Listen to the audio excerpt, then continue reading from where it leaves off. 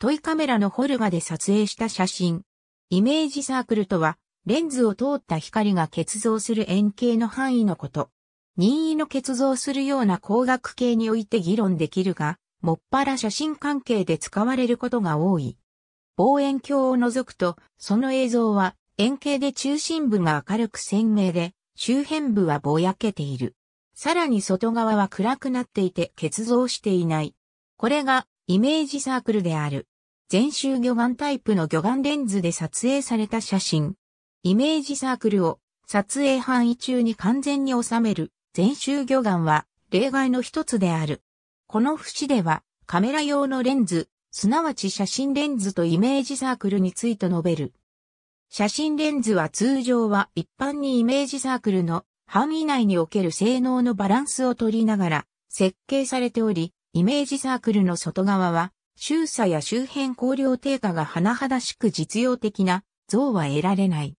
写真機ではイメージサークルの中心部の鮮明な画像部分を写真フィルム面へ結像させ、適切な時間で露光を行うことで写真を撮影している。すなわちイメージサークルの大きさは、フィルムや撮像素子の対角線長よりも大きい必要がある。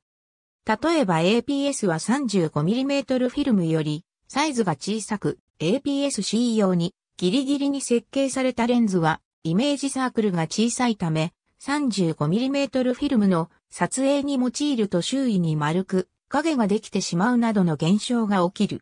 これをケラレという。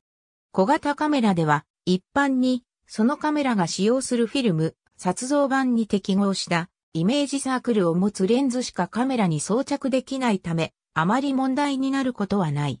イメージサークルが大きな問題になるのは、大判のカメラで煽り撮影をする場合である。煽り撮影とは、フィルムとレンズの位置関係を変えて撮影するもののことで、写真上に映る物体の歪みを除去するために用いられる。煽り撮影をする場合には、フィルムとレンズの関係を垂直からずらすため、イメージサークルもまたそれに伴ってずれる。したがって、イメージサークルが大きなレンズであればあるほど、より自由度の高い煽り撮影に使うことができる。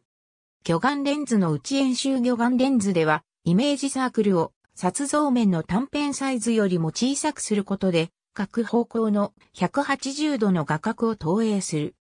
より大きいイメージサークルを持つ対角魚眼レンズでは、イメージサークルの小道を撮像面の対角線の長さと同じにして、対角線方向のみ180度の画角を投影する。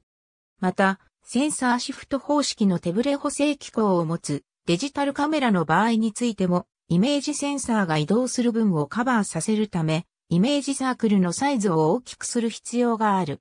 そのため、APS-C 用に特化して、ギリギリに設計された一部のデジタル一眼レフ、専用レンズには、イメージサークルが小さすぎて使用できないものもある。トイカメラでは、レンズのコストの問題から、撮像面よりも小さいイメージサークルのレンズを装備することが多く、これにより、画面の四隅にケラレの生じる部分ができる。